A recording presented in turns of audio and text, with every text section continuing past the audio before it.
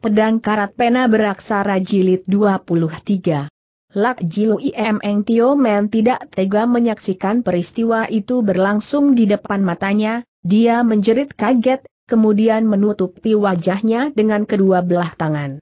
Namun pada saat yang kritis itulah mendadak dalam Arna telah terjadi suatu perubahan besar. Bukan ada turun tangan menghalau serangan maut tersebut, melainkan di tengah Harna telah muncul sebuah jurus serangan aneh yang sukar dipercaya setiap orang. Rupanya dalam keadaan kritis, Witiong Hang segera melakukan gerakan aneh dengan tangan kirinya, sementara tangan kanannya melepaskan sebuah tolakan. Jurus serangan yang dipakai adalah Gyoku Tiao Tian, Gyoku memandang langit, sebuah jurus pembuka dari ilmu pedang Jigi Kiam Hoat aliran Butong Pei. Seharusnya jurus serangan ini bukan merupakan sebuah jurus serangan yang lihai. Dia dipaksa oleh keadaan, apalagi tak ada jurus serangan lain yang cocok untuk menghapi ancaman lawan, maka dia pun menggunakan pedangnya untuk menutul serangan musuh. Tapi jurus aneh tersebut justru terletak di sini, ketika tangan kirinya melakukan gerakan itulah, Mendadak pedang pendek Lan Kunpit yang sedang melancarkan tusukan itu terhisap oleh segulung kekuatan yang maha dahsyat sehingga miring ke sebelah kanan, sedangkan pergelangan tangan kanannya yang menggenggam pedang turut terhisap oleh kekuatan Witiong Hang itu hingga terseret ke samping. Maksudnya semula ingin menusuk tubuh lawan, siapa tahu pertahanan tubuhnya sama sekali terbuka kedua belah pihak sama-sama menerjang ke depan dengan cepat, pedang kutung dari Wi Tiong Hang dengan kecepatan luar biasa langsung menusuk ke atas bahu kiri Lan Kunpit. Semua kejadian tersebut berlangsung dengan kecepatan luar biasa, Wi Tiong Hang sama sekali tidak menyangka kalau di saat terakhir pihak lawan akan membuyarkan serangannya, dalam tertegunnya buru-buru dia merendahkan pergelangan tangannya dan menarik kembali pedangnya ke belakang. Tapi sayang sudah terlambat selangkah, kutungan pedangnya itu sudah keburu menyambar di atas bahu kiri Lan Kunpit sehingga darah segar bercucuran dengan amat derasnya. Perubahan yang terjadi amat tiba-tiba ini tak sempat diikuti dengan jelas oleh siapa pun, menanti semua orang dapat melihat jelas, Lan Kunpit sudah mundur dengan membawa lukanya. Seluruh ujung bajunya di sebelah kiri basah kuyup oleh cucuran darah kental, paras muka Lan Kunpit dari hijau berubah menjadi pucat, mendadak dia membalikan badan dan mencabut kipas peraknya yang menancap di atas dinding, setelah itu sambil melotot penuh kebencian, katanya dengan suara dingin.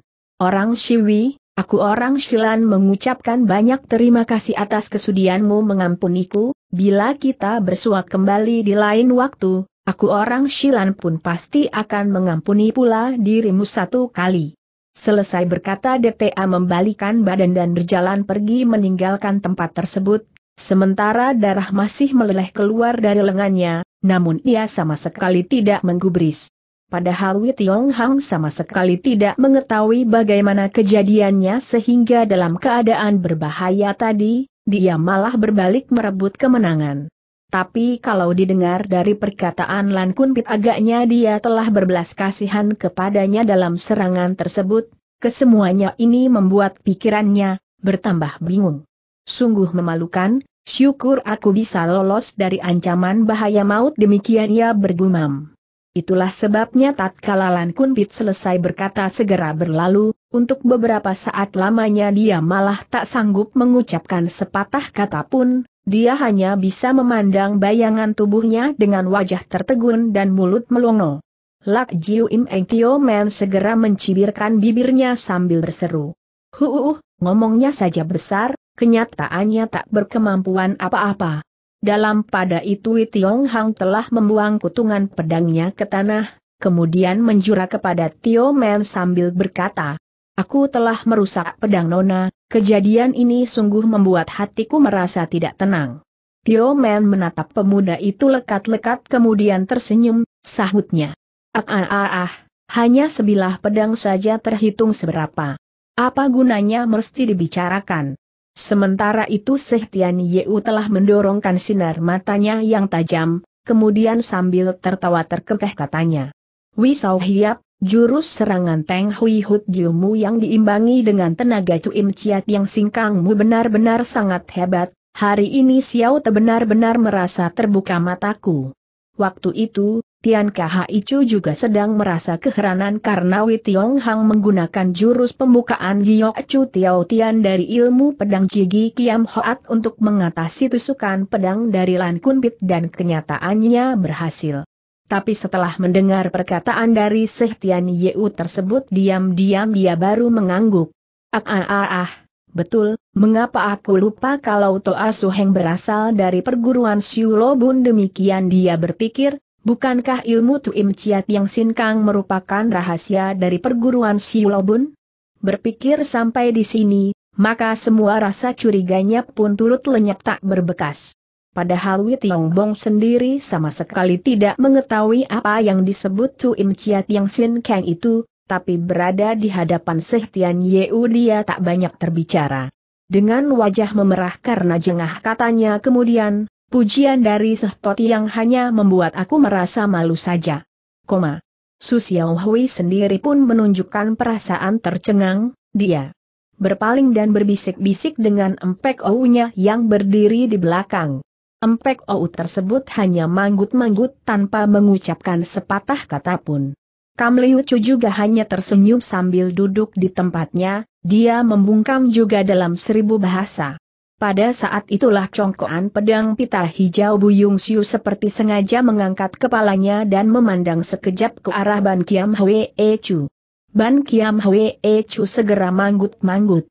Buyung Siu tertawa nyaring, tiba-tiba dia menjura ke arah Wei Tiong Hang sembari berkata, Ilmu pedang yang dimiliki Wei Sau Hiap amat lihai, Xiao Te yang bodoh ingin sekali memohon beberapa petunjuk darimu. Wei Tiong Hang tertegun setelah mendengar perkataan itu, buru-buru dia menjura sembari berkata, Buyung Chongkoan, harap kau jangan mentertawakan kepandaianku amat rendah, mana mungkin bisa menandingi kelihayan Chongkoan? Apa yang dikatakan memang merupakan suatu kenyataan, sebagaimana diketahui Buyung Siu bergelar Pau Kiam Suseng, kesempurnaannya dalam permainan pedang tentu saja luar biasa sekali, tidak banyak jago persilatan yang sanggup bertahan sebanyak sepuluh jurus di ujung pedangnya itu. Padahal Wei Tiong Hang sendiri hanya pernah mempelajari ilmu pedang Jigi Kiam Hoat saja, apa pun alasannya, dia merasa bukan tandingan lawannya ini. Sambil tersenyum Buyung Siu segera berkata Wisau Hiap, mengapa kau harus merendah? Dalam pertarungan yang barusan berlangsung setiap orang dapat menyaksikan kelihayanmu itu, dan Xiao Te ingin sekali mohon petunjuk, bila Wei Sau Hiap menampik, hal ini sama artinya dengan tak sudi memberi muka untukku? Wei Tiong Hang menjadi tersipu-sipu. Tapi Xiao Te benar-benar bukan tandingan dari Buyung Chongkoan katanya pelan.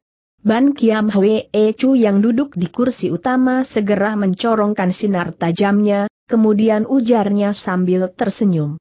Kalau toh Buyung Chongkoan sudah mengajukan permintaan tersebut, lebih baik saudara Wi menemaninya bermain berapa jurus, sudah lumrah bila antara umat persilatan melangsungkan suatu pertandingan. Kam Liu Chu berkerut kening, dia segera berpaling dan memandang sekejap ke arah Liu Lengpo. Liu Lengpo yang mengenakan kain cadar hitam segera kelihatan bergerak, Agaknya ia sedang menancapkan sesuatu. Dalam pada itu, Pau Kiam Suseng Buyung Siu telah berseru kembali sambil tertawa nyaring. Perkataan dari Hwe Chu memang benar, silahkan Wi Sau Hiap menghadiahkan beberapa jurus untuk Xiao Te, kita hanya membatasi sampai saling menutul saja, tentunya Wi Sau Hiap tidak keberatan bukan? Setelah mendengar ucapan lawan ini, Wei Tiong Hang tahu kalau dia tak bisa menampik lagi, sebagai seorang pemuda yang berdarah panas, tentu saja dia segan mengaku kalah. Maka tanpa berpikir panjang lagi dia mengangguk, katanya.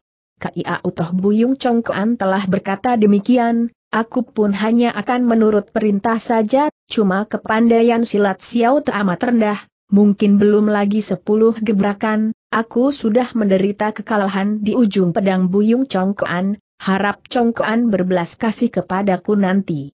Ucapan tersebut bukan kata-kata merendah karena berbicara soal kepandaian silat bila Witiong Hang sanggup bertahan sebanyak sepuluh gebrakan di ujung pedang Buyung Siu pun, hal mana sudah merupakan sesuatu yang tidak gampang. Dengan sinar mata yang memancarkan cahaya tajam, Buyung Xiao tertawa terbahak. Ha-a-a, ha-a-a, ha-a-a. Wi Sau Hiap memang pandai merendahkan diri sudahlah, silahkan kau meloloskan pedangmu. Kembali Wi Tiong Hang nampak ragu-ragu. Tapi pedangku ini meski berkarat dan nampak tumpul, padahal untuk menunjukkan bahwa pedangnya tajam, sewaktu bertarung melawan Lan Kun tadi pun tak berani memakainya, apalagi saat ini hanya saling mencoba kepandaian, tentu saja dia lebih-lebih tak berani untuk menggunakannya. Tidak menanti sampai perkataan tersebut selesai diucapkan, Buyung Siu telah manggut-manggut sambil menukas. Yaa, Wei Sau Hiap menggembol pedang Ite Sin Kiam salah satu di antara tiga pedang kenamaan dari perguruan Siu Lobun. Meski nampak tumpul dan berkarat, sesungguhnya merupakan sebilah pedang mestika. Xiao Te meski tak becus, namun masih bisa mengenali benda ini. Dari sini bisa diketahui bahwa kejujuran dan kebijaksanaan Wisau Hiap sangat mengagumkan sekali. Di dalam pertarungan kita ini, masing-masing pihak hanya ingin saling mencoba kekuatan, yang dipentingkan adalah perubahan jurus serta kekuatan tenaga, silahkan saja Wisau Hiap menggunakan pedang ana dan tidak usah ragu-ragu. Berbicara sampai di situ, tangan kanannya menggenggam gagang pedangnya dan mencabut keluar sebilah pedang berpita hijau. Senjata yang digunakan oleh seorang congkoan pedang pita hijau dari Ban Kiam Hwe tentu saja bukan sembarangan senjata, begitu diloloskan segera terbias cahaya hijau yang menyilaukan mata. Sesungguhnya Witiong Hang sendiri pun tidak tahu tentang asal-usul pedang mestika yang berbentuk tumpul dan berkarat itu. Hari ini, setelah mendengar keterangan Buyung Siu, dia baru tahu kalau pedang ini bernama Jitsio Kiam merupakan salah satu di antara tiga bilah pedang mestika perguruan Siu Lobun. Siu Lobun tiga patah kata ini segera menimbulkan banyak kecurigaan dalam hatinya. Lencana besi yang diserahkan Paman Tak dikenal kepadanya itu adalah lencana Siu Lo Cileng yang merupakan benda paling berpengaruh dalam dunia persilatan, pedang yang digunakan juga merupakan Jet Siu Kiam, salah satu di antara tiga bilah pedang mestika Siu. Kemudian ilmu Chai Im Jiu yang dua kali dipergunakan olehnya ternyata dianggap semua orang sebagai ilmu Siu Lolip. Hingga kini, asal usdulnya masih belum jelas, Paman Tak dikenal namanya juga tak pernah menampakkan diri, tampaknya bila pamannya itu berhasil ditemukan, maka rahasia dari asal-usulnya juga bakal terungkap dengan sendirinya. Namun kalau disimpulkan dari kesemuanya ini, bisa diduga kalau paman tak diketahui namanya yang telah mendidik dan memeliharanya sejak kecil itu ada sangkut pautnya dengan Sio Lobun. Entah di manakah letak perguruan Sio Lobun itu? Untuk menemukan jejak pamannya, terpaksa dia harus mengunjungi perguruan Sio Lobun tersebut. Sementara itu Buyung Siu telah meloloskan pedangnya, tapi ketika ia berpaling, dijumpainya Wei Tiong Hang hanya menggenggam gagang pedang sambil berdiri termangu-mangu di situ, seakan-akan sedang memikirkan suatu persoalan. Keadaannya ini kontan saja membuat semua orang merasa keheranan, mereka tak tahu apa yang sedang dipikirkan pemuda tersebut sehingga membuat ia nampak tak tenang. Buyung Siu mendongakkan kepalanya dan menatap wajah Wei Tiong Hang lekat-lekat, kemudian tegurnya. Wi Sao Hiap, harapkah segera meloloskan pedangmu? Wi Tiong Hang segera sadar kembali dari lamunannya, merah padam selembar pipinya karena jengah buru-buru dia menjura seraya menyaut. Aku akan segera turut perintah. Dia segera mencabut keluar pedang berkaratnya itu dari dalam sarung. Kali ini semua orang sudah mendengar dari Buyung Siu bahwasanya pedang berkarat yang tidak menarik itu sebenarnya adalah Jitsu Kiam, salah satu di antara tiga pedang kenamaan dari Siu Lobun. Oleh sebab itu, sorot mata semua orang pun bersama-sama dialihkan ke arah pedang Witiong Hong. Sementara itu, Wei Tiong Hang telah mengangkat pedangnya sambil membuka pertahanan pedang di tangan kanannya diangkat tegak lurus ke atas dengan tangan kiri disilangkan ke depan dada. Silahkan Buyung Chong Koan. Inilah jurus pertama dari ilmu pedang Jigi Kiam Hoat yang disebut Giok Cha Tiao Tiao. Giok Cha Tiao Tian merupakan suatu sikap memberi hormat sebelum melancarkan suatu serangan, atau berarti bermaksud untuk mengalah, Sebab harus menunggu sampai pihak lawan membuka serangan, ujung pedang mana babru bergerak melepaskan gerakan berikutnya. Hal ini merupakan suatu sikap memberi hormat, dan kebanyakan perguruan kenamaan mempunyai jurus pembukaan semacam ini. Buyung Siu segera membuat pula gerakan menghormati katanya sambil tersenyum. Ada bedanya di antara tamu dengan tuan rumah, harap Wisau Hiap tidak usah sungkan-sungkan. Kalau begitu maafkanlah kelancanganku kata Wei Tiong Hang kemudian sambil memberi hormat. Kaki kirinya maju setengah langkah dengan tangan kiri membuat gerakan, sedangkan pedang di tangan kanannya melancarkan sodokan namun belum merupakan suatu ancaman titik. Melihat itu, Buyung Siu mendehem pelan, kemudian serunya, berhati-hatilah Wei Sau Hiap. Pedangnya didorong ke depan, Setitik cahaya bintang dengan membawa suara desingan tajam langsung menusuk ke dada Wei Tiong Hong. Di mulut dia masih mengatakan apa bedanya antara tuan rumah dan tamu, padahal dia sama sekali tidak bersedia mengalah. Di dalam kenyataan, walaupun jurus serangan yang dilancarkan olehnya itu bergerak agak lamban, namun justru tiba pada sasarannya jauh lebih awal daripada gerakan lawan. Wei Tiong Hang tentu saja tak berani berayal setelah menghadapi serangan pedang lawan yang begitu cepat, tangan kirinya melakukan pancingan, dan pedangnya membabat ke arah kanan dengan jurus kibong lucau, angin puyuh menyapu rumput.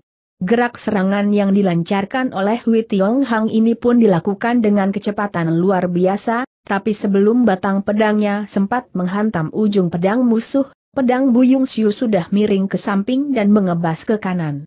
Padahal Buyung Siu sedang melepaskan tusukan ke depan, tentu saja dia tak akan membuyarkan ancamannya di tengah jalan tanpa sebab musabab tertentu, bukan saja hal ini tak akan membentuk gerak serangan, seakan-akan juga bukan atas dasar kemauan sendiri. Tentu saja bagi pandangan para ahli persilatan yang hadir di situ, dalam sekilas pandangan saja mereka sudah tahu kalau keadaan mana tidak jauh berbeda dengan keadaan yang dialami oleh Lan Kun Pit tadi. Rupanya di saat Wei Tiong Hang menggunakan jurus Giok Chao Tiao Tian tadi, secara diam-diam dia melakukan pula gerakan menghisap dengan tangan kirinya menggunakan ilmu Tiim Chiat Yang Sin Kang. Buyung Xiao memang tidak malu disebut ahli ilmu pedang, gerakan tubuhnya benar-benar sangat enteng dan cekatan. Baru saja gerak pedangnya terhisap oleh kekuatan Wei Tiong Hong, tubuhnya yang enteng sudah melambung ke udara. Bersamaan waktunya, menyusul kemudian melayang turun di samping kiri Wei Tiong Hong. Wei Sao Hiap, kau memang benar-benar amat dahsyat, pujinya sambil tersenyum ujung pedangnya miring ke samping dan melepaskan sebuah bacokan lagi. Pada hakikatnya Wei Tiong Hang tidak pernah menyangka kalau dalam gerak serangan yang pertama pun dia telah berhasil menghisap ke samping pedang lawan. Sementara ia masih tertegun, mendadak dari depan mata sudah menyambar tiba pedang lawan, cepat ia berputar ke kiri pedangnya membentuk gerakan melingkar dan mengunci ke arah sebelah kiri. Buyung Siu memang hebat sekali, pedangnya seperti seekor naga sakti saja, dalam waktu singkat pedangnya dari satu berubah jadi dua, dari dua berubah jadi empat, dalam waktu singkat muncul tujuh delapan jalur bayangan sinar yang mengurung seluruh tubuhnya. Wei Tiong Hang tak berani gegabah, dia segera memusatkan segenap perhatiannya untuk menghadapi datangnya ancaman lawan yang sangat hebat itu. Oh, oh, oh, oh. Dalam waktu singkat kedua belah pihak telah bertarung enam-tujuh gebrakan lebih, ternyata masing-masing pihak tak berhasil meraih keuntungan apa-apa. Dengan suara keras Buyung Siu segera berseru. Wisau Hiap, ilmu pedang Jigi Kiam Hoatmu benar-benar sudah hafal dan menguasai. Mendadak permainan pedangnya berubah, dalam waktu singkat cahaya tajam berterbangan dan hawa pedang menguasai seluruh Jagat dalam waktu singkat seluruh tubuh Wei Tiong Hang sudah terkurung di balik selapis cahaya pedang yang tajam.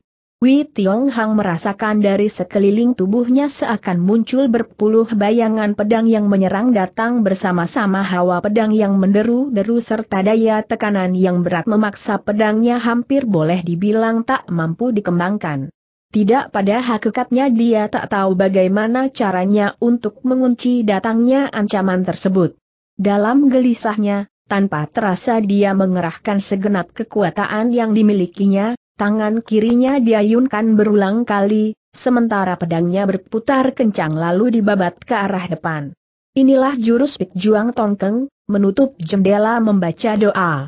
Koma sesungguhnya merupakan jurus pedang pelindung tubuh, tapi berhubung bayangan pedang tibanya cari empat penjuru dengan daya tekanan yang berat, maka ia segera mendorongnya ke arah muka. Seharusnya cahaya pedang yang melingkar di luar tubuh akan mengembang keluar, dan seharusnya bila membentur dengan bayangan pedang lawan maka akan terjadi serentetan suara benturan yang gemerincing sebelum dapat membendung datangnya berpuluh bayangan pedang yang menyerang tiba itu. Siapa tahu di saat pedangnya sedang diayunkan itulah, selapis bayangan pedang yang semula amat menyilaukan mata, tadi tahu-tahu lenyap tak berbekas, yang nampak hanya sebilah pedang yang berkilauan langsung menusuk ke arah kiri mengikuti gerak serangannya.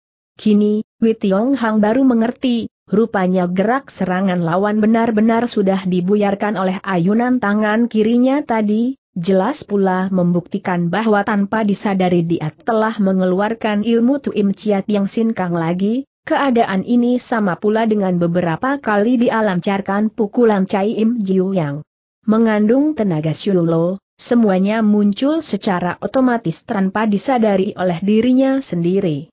Sebab di dalam serangannya kali ini, di saat tangan kirinya diayunkan ke depan tadi, dia sudah merasakan datangnya bayangan pedang yang bertubi-tubi dan dari setiap bayangan mana terpancar keluar kekuatan yang kuat sekali. Namun begitu ayunan tangannya dilepaskan, semua daya tekanan yang berlapis-lapis itu berubah menjadi segulung aliran berarus kuat yang segera terpancing ke sebelah kiri mengikuti gerak hisapan tangan kirinya.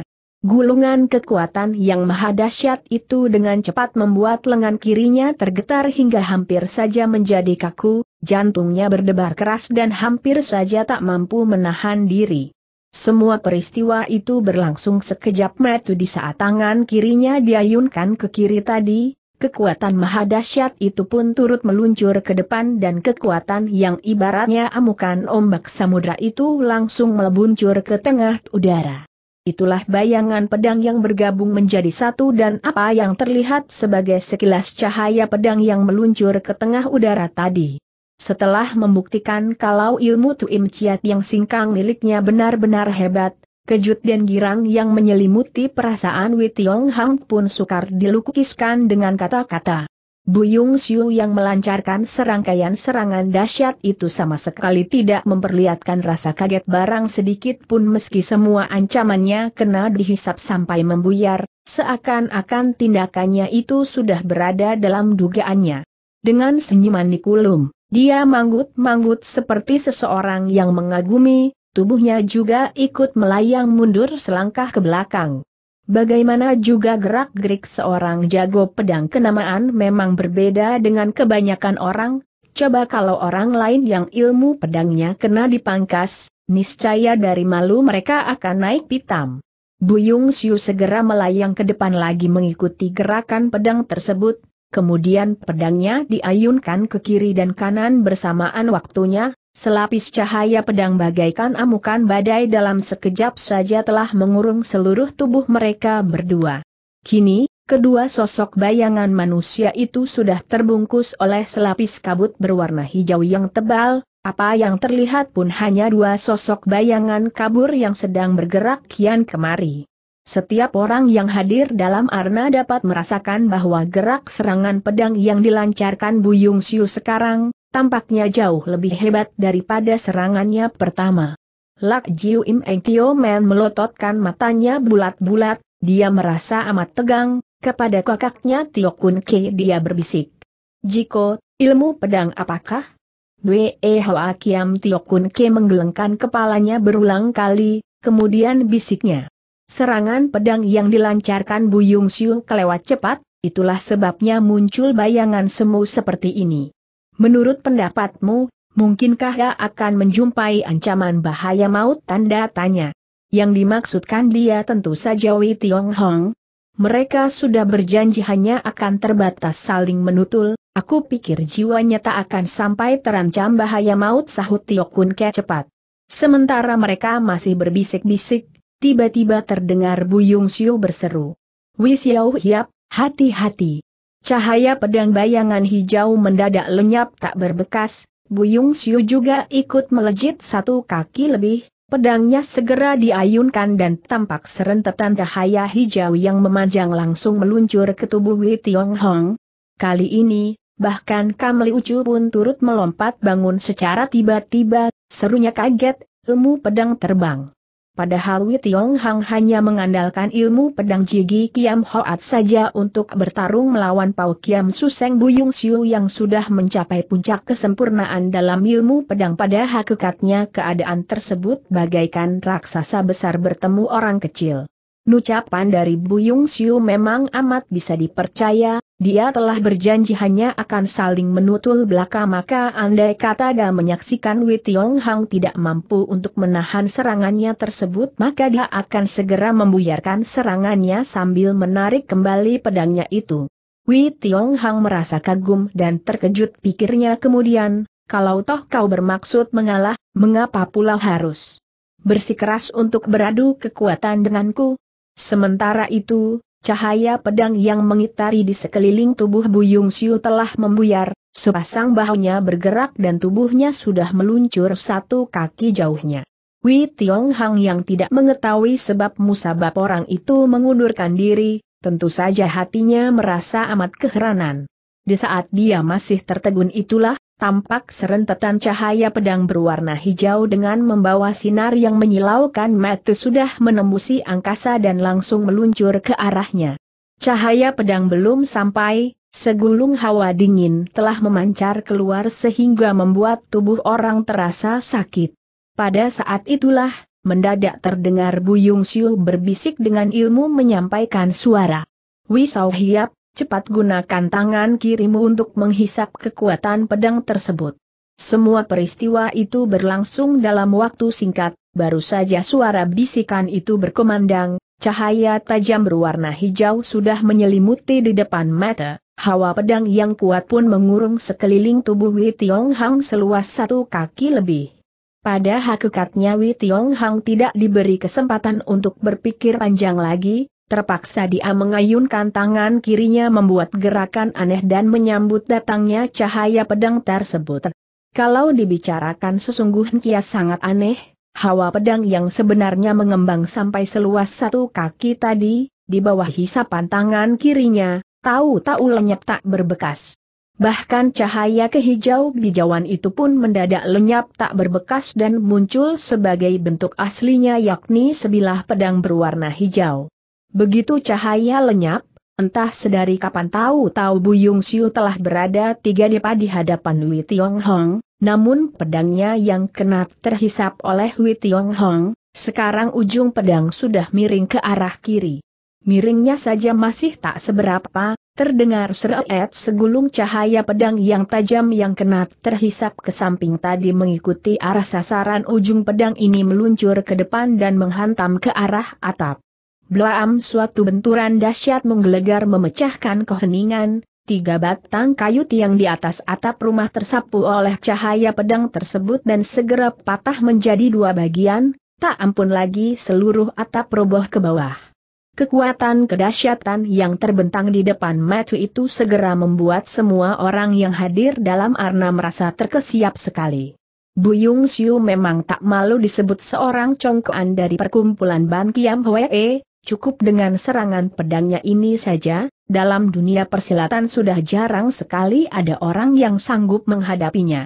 Tentu saja semua orang lebih terperanjat lagi terhadap kemampuan Wei Tiong Hong, padahal usianya masih muda, namun ilmu silatnya sudah mencapai tingkatan yang begitu hebat, sehingga serangan pedang terbang yang merupakan ilmu pedang paling tinggi dalam dunia persilatan pun berhasil dipatahkan. Buyung Siu segera memutar pedangnya sambil melompat mundur sejauh beberapa depa, kemudian sambil memandang ke arah Ban Kiam Hua Chu dia manggut-manggut. Kemudian serunya sambil tertawa nyaring. Wi Sau Hiap memang hebat sekali, Xiao Te mengaku kalah. Ucapan tersebut ternyata diutarakan oleh congkoan pedang pita hijau dari Ban Kiam Hwe, Pau Kiam Suseng Buyung Siu, sesungguhnya keadaan mana benar-benar mengejutkan hati. Seorang jago kenamaan yang sudah termasyhur selama banyak tahun ternyata mengaku kaya di depan kawanan jago lihai dari pelbagai perguruan, tindakan semacam ini benar-benar merupakan sesuatu yang luar biasa. Kalah, tentu saja dia yang menderita kalah. Setiap orang yang hadir dalam arem dapat melihat kalau dia telah mempergunakan tiga macam ilmu pedang yang berbeda, namun semuanya berhasil diatasi dengan ilmu Tuim Chiat yang sinkang yang digunakan Wei Tiong Hong. ILMU Tuim Chiat yang sinkang dari Wei Tiong Hong lah yang membuat semua kepandaian saktinya tak berguna, tapi kalau berbicara soal kesempurnaan dalam menggunakan pedang tentu saja Wei Tiong Hong sukar untuk melampaui dirinya. Tian KHI Chu dari Butong Pei serta Sip Chu Taisu dari Xiao Lin Pei sama-sama merasa tercengang dan di luar dugaan. Terutama sekali para jago dari Butong Pei seperti Keng Hian Tojin, Tio Kun Ke serta Tio Man, hampir semuanya mengulumkan senyuman gembira. Sebab bagaimanapun Wei Tiong Hang telah menggunakan ilmu pedang dari Butong Pei untuk mengungguli Lan Kun Pit dan Buyung Siu secara beruntun. Peristiwa itu bagi pihak Butong Pei boleh dibilang merupakan suatu kejadian yang pantas dicatat sebagai suatu kejadian yang membanggakan. Dari sekian banyak jago silat yang hadir dalam arena, hanya Kam Liu Chu seorang yang menyaksikan bagaimana Buyung Siu melemparkan kerlingan metu terhadap Ban Kiam Hwe Chu dan manggut-manggutkan kepalanya. Dengan kening berkerut dan alis metu berkernyit, dia lantas berpikir. Tindakan yang dilakukan congkoan pedang pita hijau Buyung Siu ini sudah pasti mengandung maksud yang dalam.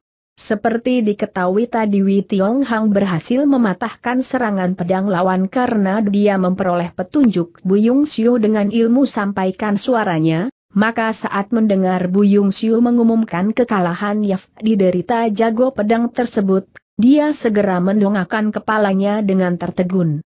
Akhirnya dengan wajah memerah dia masukkan kembali pedangnya ke dalam sarung dan berseru sambil menjura. Berkat sikap Buyung Siu Chong Kuan yang sedia mengalah, aku baru dapat mempertahankan diri secara paksa, kalau tidak, sejak tadi aku sudah tidak mampu menahan diri, yang pantas menerima kalah sebenarnya aku. Dengan sinar mata yang tajam, Buyung Siu kembali memandang sekejap ke arah kawanan jago yang hadir dalam arna, kemudian sambil tertawa terbahak-bahak katanya. Hiat titik haa, haa, walaupun sudah unggul Wisau Hiap tak sombong, jiwanya besar dan orangnya bijaksana, Xiao Te benar-benar merasa kagum dengan manusia seperti ini. Ya, apa yang diucapkan Wisau Hiap memang benar, berbicara soal ilmu pedang, sekalipun saudara berlatih berapa tah lagi pun sulit mengungguli aku dalam perubahan jurus serangan, dalam bidang pengalaman dalam bertarung pun Xiao Te jauh lebih unggul. Namun Wi Sau Hiap menguasai penuh ilmu sakti Tuim Ciat yang sinkang, hal mana membuat serangan-serangan pedang Xiao Te hampir semuanya kena dipatahkan dan tak mampu melukai Wi Sau Hiap, hal ini merupakan kenyataan yang tak terbantahkan, itulah sebabnya dalam hasil pertarungan yang berlangsung sekarang tentu saja Wi Sau Hiap berada di pihak Ik unggul. Dengan perasaan tidak tenang Wei Tiong Hang segera berkata, pujian dari Buyung Chongkoan benar-benar membuat aku merasa tak punya muka untuk berbicara lagi titik. Belum habis dia berkata, Ban Kiam Chu sudah bangkit berdiri dan menukas. Apa yang dikatakan Buyung Chongkoan memang benar dan hal ini merupakan suatu kenyataan, harap saudara Wei jangan merendah lagi.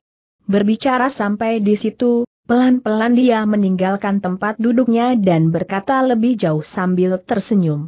Saudara, sudah lama aku dengar orang bilang kalau ilmu tu yang Ciat Im Sin Kang melupakan ilmu rahasia dari Siu Lobun, dan ini dibuktikan sewaktu saudara Wi mematahkan serangan ilmu pedang terbang dari Buyung Chongkoan, kehebatanmu sungguh membuat pandangan mata kami semakin terbuka dan merasa kagum sekali. Koma. Setelah berhenti sejenak, Pelan-pelan dia mengalihkan sorot matanya ke wajah semua orang yang hadir di sana, kemudian katanya lebih jauh.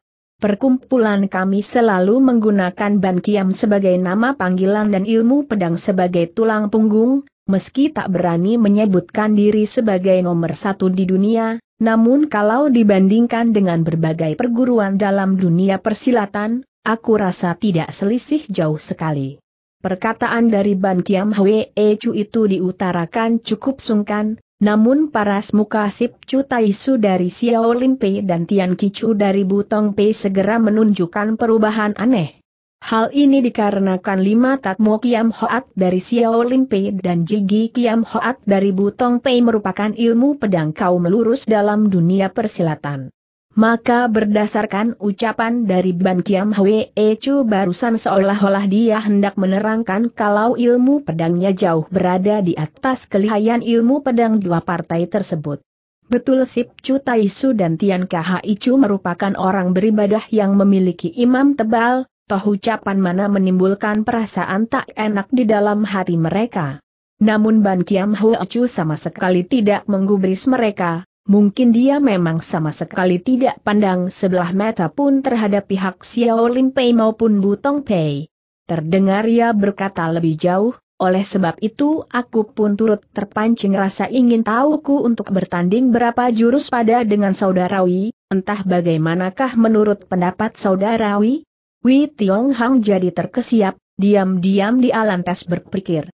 Ban Kiam Hu Chu menyebut dirinya sebagai Ban Kiam Chiong atau Raja de Raja dari Selaksa Pedang, itu berarti kesempurnaan ilmu pedangnya masih jauh melampaui kemampuan congkoan dari pedang pita hijau. Betul kalau ilmu Tuim Chiat yang Sin Kang yang kuyakini berhasil mematahkan serangan pedang lawan secara berulang-ulang, tapi pihak lawan adalah seorang ketua dari suatu perguruan, bila berhasil mengungguli dia, Bukankah hal ini menjadi tak enak? Berpikir sampai di situ, dengan perasaan bimbang segera ujarnya. ILMU pedang yang dimiliki WE cumana mungkin bisa. Kuhadapi? Aku tak berani menerima tantanganmu itu. Saudarawi, buat apa kau merendah seruban Kiam Chu dengan angkuhnya? Selesai berkata, tangan kanannya menggenggam gagang pedang dan pelan-pelan dicabut keluar. Begitu pedang tersebut lolos dari sarungnya, semua orang baru dapat melihat bahwa pedang yang digunakan oleh Ban Kiam Hue Chu ini, berwarna kuning emas cahaya berkilauan yang tajam segera memancar ke empat penjuru. Tampaknya Ban Kiam Hue Chu amat menyayangi pedang emasnya itu, ketika diloloskan dari sarungnya, dia lantas membelai batang pedangnya dengan tangan kirinya yang putih. Pelan-pelan dia mengangkat kepalanya, lalu berkata, Saudarawi, loloskan pedangnya. Wi Tiong Hang mundur selangkah dan menjura berulang kali, serunya. Harap Ho Chu Sudi memaafkan, aku tak dapat memenuhi keinginanmu itu. Ban Kiam Ho Chu mendengus dingin, pedang emasnya digetarkan sampai mendengung nyaring kemudian sambil mendongakkan kepalanya dia berkata pelan. Xiao Te telah mencabut pedangku, pedang yang sudah diloloskan bagaimana mungkin bisa disimpan kembali? Tujuan kita toh hanya menjajal kepandaian? Bila saudara Wi menampik lagi, hal mana sama artinya dengan tidak memberi muka untuk Xiao Te. Wi Tiong Hang menunjukkan sikap keberatan, katanya lagi dengan nada tergagap.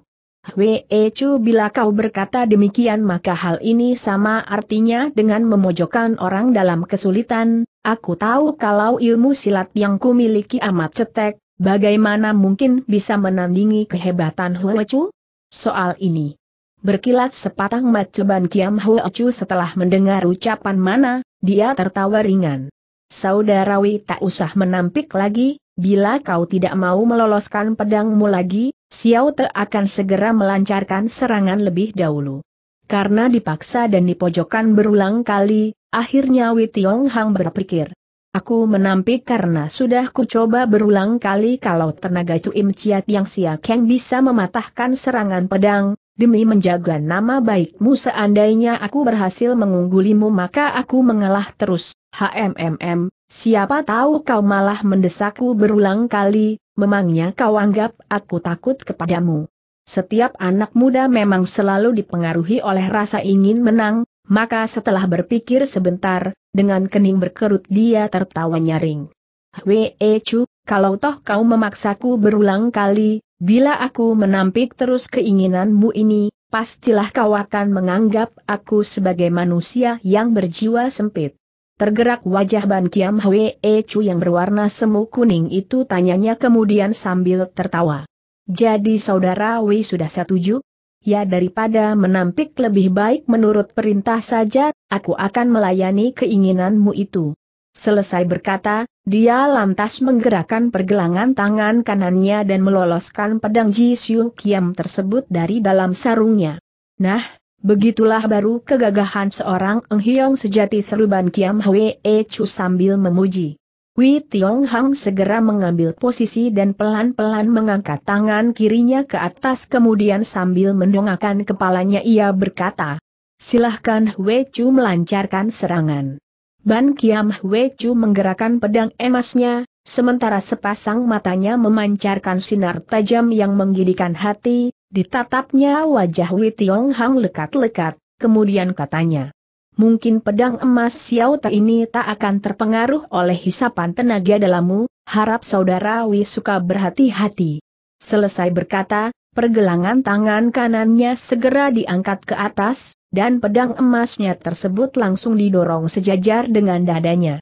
Kam Liu Chu yang mendengar perkataan tersebut, tiba-tiba saja teringat dengan penampilan dari congkoan pedang pita hijau Buyung Siu tadi, Rupanya penampilan tersebut merupakan maksud hati dan Ban Kiam Hwee Chu, kemudian setelah berhasil membuktikan Buyung Xiu pun manggut-manggut lagi ke arahnya. Dengan cepat dia berpikir. Jadi nampaknya mereka memang ada maksud untuk mencoba kepandaian silatnya. Dalam pada itu, Wei Tiong Hang sudah memeluk pedangnya di depan dada sambil mengawasi Ban Kiam Hwee Chu lekat-lekat, dia telah bersiap sedia menantikan datangnya serangan pedang dari lawan. Maka di saat dia mendengar kalau pedang emas itu tak akan terpengaruh oleh hisapan ilmu Tuim Ciat yang sintang, dari hati kecilnya segera muncul perasaan antipati. Pikirnya, pedang pendek beracun dari Lan Kunpit dan pedang dari Buyung Siu pun berhasil kuhisap tanpa menggunakan tenaga besar masa pedang emasmu itu tak akan terpengaruh oleh tenaga hisapanku, Semula dia bermaksud untuk menahan diri dan berupaya agar tak membuat malunya pihak lawan, sebab bagaimanapun juga orang itu adalah seorang ketua dari Ban Kiam Hwee, bahkan dia pun bertekad dalam hati kecilnya bila keadaan tak terlalu memaksa, dia akan berusaha untuk tidak menggunakan tenaga hisapan pada tangan kirinya. Tetapi setelah mendengar perkataan mana, tanpa terasa timbullah perasaan ingin mencari menang sendiri di dalam hatinya, pikirnya. HMMM, kau mengatakan aku tidak mampu maka aku akan membuktikan kepadamu kalau aku mampu atau tidak mampu untuk menghisap pedangmu itu. Pada jurus pembukaan Giok Chusiutian dari ilmu pedang Jigi Kiam Hoat tersebut, seharusnya gerakan lengan kirinya melakukan serangan lebih dulu kemudian baru disusul dengan gerakan pedang. Tiba-tiba saja satu ingatan melintas dalam benaknya, dia sengaja menggerakkan pedangnya lebih dulu, kemudian tangan kirinya baru melakukan gerakan. Inilah yang dinamakan ada maksud menanam bunga, bunga tak mau tumbuh, tiada maksud menanam pohon liu, pohon itu menganak rimba. Di saat bertarung melawan Lan Kunpit dan Buyung Siu tadi, Witiong Hang melakukan gerakannya dengan tiada tujuan, Nyatanya semua serangan pedang lawan, ternyata ilmu Tuim Ciat yang sintangnya seolah-olah kehilangan kemampuannya. Walaupun gerakan pedang dari Ban Kiam Chu dilancarkan amat lambat, tapi berhubung daya hisapan dari Wi Tiong Hang tidak mendatangkan kemampuan sebagaimana mestinya maka kendati pedangnya tak menyerang dengan cepat, toh setitik bayangan emas dengan cepat mendekati juga jalan darah penting di depan dadanya. Sekarang Wei Tiong Hang merasa terkejut, merah padam selembar wajahnya karena jengah, tidak sampai tusukan pedang lawan tiba pada sasarannya, pergelangan tangan kanannya segera digetarkan, pedang Jitsin Kiam tersebut langsung dibacokkan ke atas pedang emas Ban Kiam Chu. Cepat-cepat Ban Kiam Chu menarik pergelangannya dan tiba-tiba mengerutkan kembali ancamannya. Bagaimana buktinya di alantas berseru sambil tertawa ringan. Ucapan yang bernada mencemooh ini dengan cepat mengobarkan hawa amarah di dalam dada Wei Tiong Hong, dengan cepatnya pedang tersebut ditarik kembali kemudian sambit berputar satu lingkaran di depan dada, ia mendorong senjatanya keluar. Bagus titik bentak Ban Kiam Chu. Di mana pergelangan tangannya digetarkan, segera muncullah berkuntum-kuntum bunga emas yang memancar di angkasa.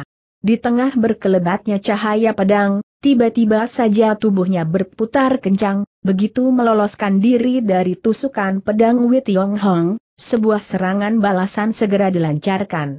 Serangan pedangnya yang semula melakukan tusukan dengan gerakan pelan, dalam waktu singkat telah berubah menjadi cepat sekali.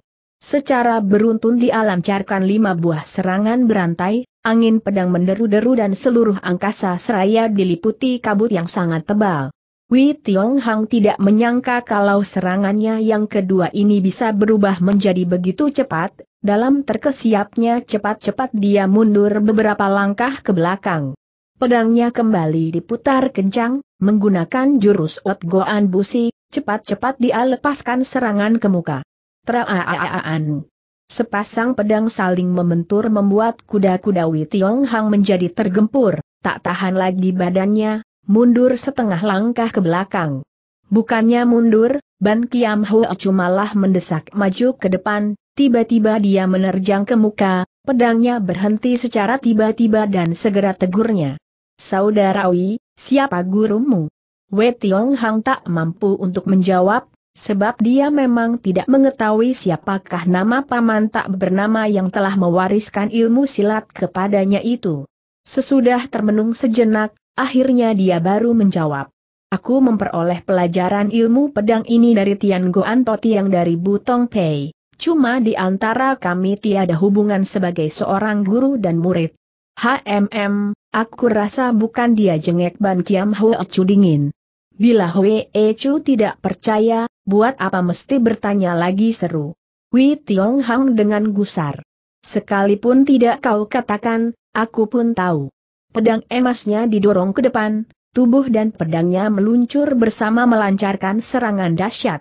Kini Wei Tiong Hang tak berani bertindak secara gegabah lagi, pedang Jitsu Kiamnya digetarkan ke depan dan menyongsong datangnya ancaman lawan. Sebagaimana diketahui dia hanya bisa memainkan ilmu Jit Gi Kiam Hoat melulu, maka menghadapi serangan lawan yang datang secara bertubi-tubi itu, terpaksa dia harus bergerak mengikuti gerakan pedangnya, sejurus demi sejurus berputar terus tiada hentinya. Sementara itu serangan yang dilancarkan oleh Ban Kiam Chu tersebut kian lama kian bertambah cepat, Witiong Hang yang harus mengandalkan ilmu padang jigi Kiam Hoat untuk menghadapi ancaman tersebut, sesungguhnya sulit bagi dia untuk menghadapi ancaman-ancaman mana. Dalam gerak tangkisan mana, dia merasa di balik gulungan bayangan pedang lawan terselip desingan angin guntur yang membetot sukma. Tapi kalau dipandang dari luar, serangan itu pun tidak begitu tangguh, hanya sambung menyambung tiada habisnya, hingga sulit bagi orang untuk membendungnya. Diam-diam ia menjadi terkesiap sekali, pikirnya. Kalau aku harus menghadapi cahaya pedang yang datang secara berantai seperti ini, maka lama-kelamaan aku bakal tak mampu untuk menahan diri, lebih baik aku menyerempet bahaya dan memaksakan pertarungan kekerasan saja. Berpikir demikian, dia lantas mengerahkan tenaga dalamnya, Lalu di antara getaran pergelangan tangannya, ujung pedang itu berputar dua lingkaran di tengah udara, kemudian sambil membentak keras pedangnya langsung menerobos masuk ke balik cahaya pedang yang berlapis-lapis dari Ban Kiam Chu tersebut. Inilah jurus pawing buyang dari ilmu pedang Jigi Kiam Hoat. Traaang, traaang. Di tengah selapis kabut pedang yang menyelimuti angkasa, segera terdengar suara benturan nyaring yang amat memekik telinga. Akibat dari benturan tersebut, Wei Tiong Hang segera tergetar mundur sejauh dua langkah. Tetapi dia maju kembali setelah mundur, begitu mendesak ke hadapan Wei Tiong Hang, ujarnya tertawa. Sudah jelas saudara Wei adalah murid dari Sian Soat Kiam Kek, mengapa kau tak mau mengakuinya? Oh de oh oh oh. Sian Soat Kiam Kek seru Tiong Hang keheranan, aku belum pernah dengar nama Sian Soat Kiam Kek tersebut. Dari Kan Sam Cheng yang barusan kau pergunakan, bukankah masih ada satu getaran yang belum kau gunakan? Pedangnya digetarkan lagi sehingga muncul bunga pedang yang menyelimuti angkasa, dia langsung mengurung seluruh tubuh Wei Tiong Hong. Selama ini, Wei Tiong Hong boleh dibilang belum pernah mendengar tentang Kan Sam Cheng, tapi kalau didengar dari nada ucapannya itu, agaknya tadi ia telah mempergunakan dua kali serangan menggetar. Padahal di dalam melancarkan serangannya tadi, pertama kali dia menggunakan jurus El Tegoan Busi dan pada kedua kalinya menggunakan jurus Pawing Huyang. Betul kalau memang masih ada satu jurus lagi yang bernama Sam Hoaki Teng atau tiga bunga mengumpul di puncak, jurus itu pun merupakan sebuah jurus serangan yang khusus dipakai untuk menggetarkan pedang atau senjata lawan. Ingatan mana melintas dalam benaknya, dia pun tak berani beraya lagi, pergelangan tangannya digetarkan ujung pedang Jitsu Kiam sudah berputar tiga lingkaran di tengah udara untuk menyongsong datangnya ancaman tersebut. Teraang. Sewaktu dia memutar senjata untuk ketiga kalinya, mendadak terasa getaran keras menggelegar di udara, kemudian pergelangan tangannya menjadi kaku dan pedangnya terlepas dari genggaman. Dalam terkejutnya, buru-buru dia melompat mundur ke belakang. Di dalam anggapannya, pertarungan itu merupakan suatu pertarungan adu kekuatan, Apabila sudah dijanjikan hanya saling menutul dengan terlepasnya senjata tersebut dari cekalannya, sudah sewajarnya Ban Kiam Chu pun menghentikan serangannya. Siapa tahu ketika ia mendongakkan kepalanya, tampak Ban Kiam Chu sudah menggetarkan pedang emasnya di tengah udara, kemudian tubuh berikut pedangnya menyerang maju ke muka. Pedang emasnya itu menyebar di tengah udara bagaikan beribu-ribu cahaya emas yang berhamburan di tengah udara. Pedang yang berada dalam genggaman Witiong Hang telah terlepas, sekarang dia berada dalam keadaan tak bersenjata, mimpi pun tidak diduga olehnya kalau Ban Kiam Hwe Chu akan menyusulnya dengan serangan lain yang jauh lebih dahsyat. Tindakan tersebut kontan saja membuat hatinya gusar bercampur terkesiap. Tampak cahaya emas itu meluncur datang dengan amat cepatnya, dia segera mundur berulang kali, Sementara tangan kirinya tanpa terasa melakukan gerakan untuk melancarkan hisapan, sementara tangan kanannya berputar membentuk satu lingkaran di depan dadanya dan WS sebuah pukulan telah dilontarkan. Menyaksikan pemuda itu lagi-lagi melakukan gerakan menghisap tanpa terasa Ban Kiam Bwe Ecu tertawa geli, ejeknya. Pedang menaga mestika ini tak akan mempan untuk dihisap dengan mutiara penghisap pedang. Baru saja dia selesai berkata, mendadak terasa ada segulung tenaga pukulan yang sangat dahsyat membacok datang, ternyata tenaga tersebut menghantam ke arah pedangnya dan membuat serangan tersebut tahu-tahu terhenti di tengah jalan. Dengan perasaan terkesiap, dia berpekik. Serangan yang dilancarkan orang ini ternyata mampu menahan serangan pedangku, ilmu pukulan macam apakah ini? Diam-diam ia menghimpun tenaga murninya, kemudian pedang emas itu melancarkan serangkaian serangan memantul ke tengah udara. Sekarang, dia telah menghimpun segenap tenaga dalam yang dimilikinya ke ujung pedang. Tampak beribu-ribu buah benang emas mendadak memancarkan angin pedang yang dahsyat seperti anak panah yang terlepas dari busurnya meluncur ke depan dan menyambar ke mana-mana bagaikan hujan badai. Wei Tiong Hang mundur terus ke belakang berulang kali, dengan sekuat tenaga, ia melancarkan dua buah bacokan dahsyat untuk membendung serangan lawan, sementara tubuhnya melompat mundur ke belakang. Dari mana dia tahu kalau Ban Kiam Chu telah mengerahkan segenap tenaga dalamnya dan menyalurkan ke ujung pedang tersebut karena angin pukulannya berhasil menahan gerakan pedangnya tadi? Sekarang, Ban Kiam Chu telah mengeluarkan hawa pedang Kiam KHI-nya ke ujung senjata tersebut, bayangkan saja, bagaimana. Mungkin Wei Tiong Hang bisa membendung serangannya tersebut dengan kekuatan tenaga pukulannya. Tampak beribu benang emas itu meluncar datang dengan cepatnya dan mendesak tiba secara bertubi-tubi, ia menjadi terperanjat sekali, tangan kirinya diputar kencang, kemudian membacok lagi dengan jurus Go Ting Kesan, Go Ting membuka gunung. Baru saja serangannya dilancarkan terasa desingan angin tajam hampir saja menyentuh telapak tangannya setiap jalur benar emas itu semuanya terasa tajam bagaikan sayatan pedang, buru-buru dia menarik kembali telapak tangan kirinya yang sedang melepaskan serangan tersebut.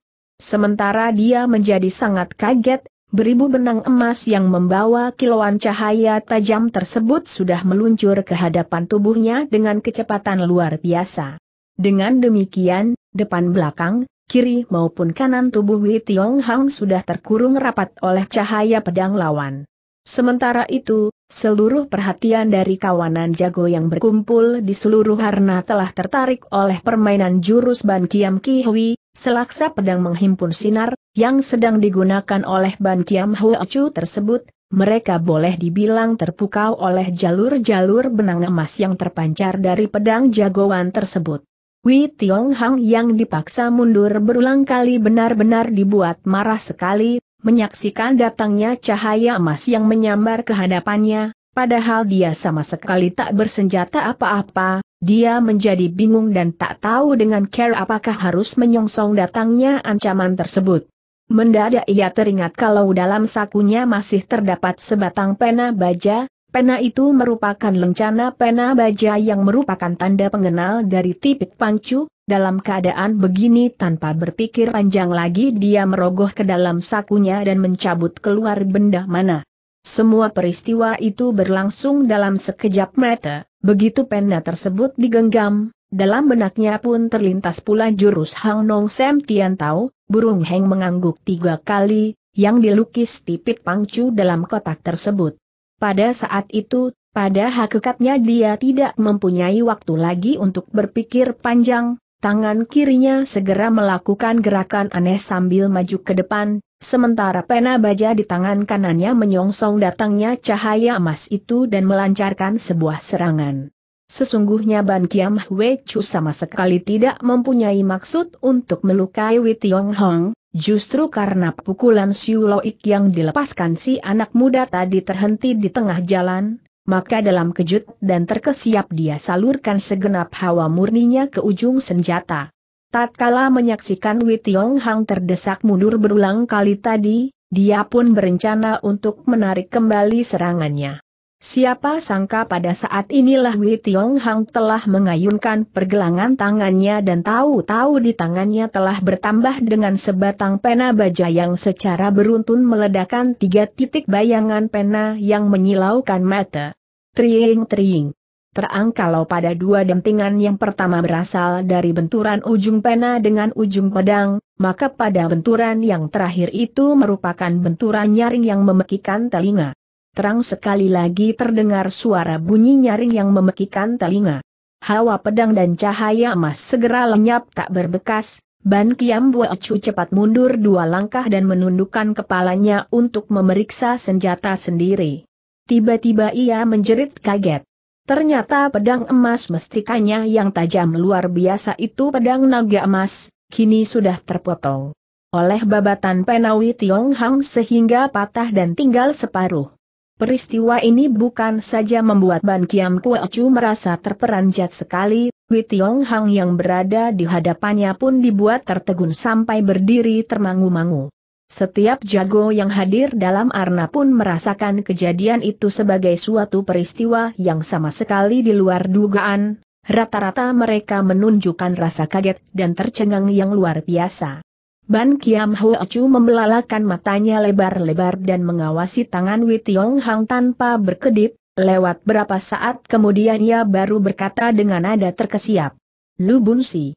Benda yang berada di tanganmu itu adalah Lu Bunsi. Dengan cepat Wei Tiong Hang menjeleng. Bukan, Pena milikku ini merupakan lencana pena baja, benda pengenal dari ketua Tipit Pang Semlari berkata, tanpa terasa dia mengangkat tangannya tinggi-tinggi. Dengan diangkatnya pena tersebut ke udara maka semua orang dapat menyaksikan dengan lebih jelas lagi.